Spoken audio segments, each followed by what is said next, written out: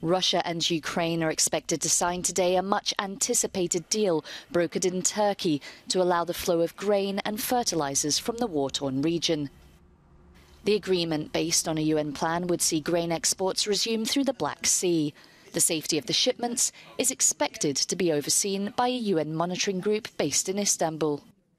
What we're trying to do is have an agreement that would allow for uh, Ukrainian and Russian uh, of food and fertilizer to reach global markets.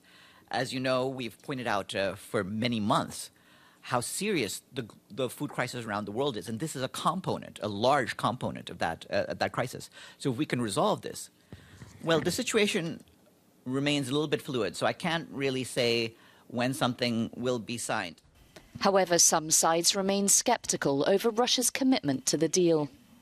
The fact is that to date, Russia has weaponized uh, food during this conflict. Uh, they have destroyed agricultural facilities. They prevented uh, millions of tons of Ukrainian grain from getting to, to those who need it.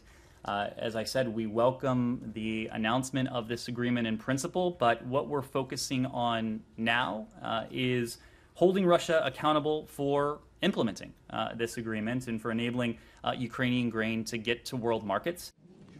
This could be the first major deal between the warring sides since Russia invaded Ukraine. It is also seen as a solution to a looming global food crisis. NATO member Turkey has played a key role in facilitating talks.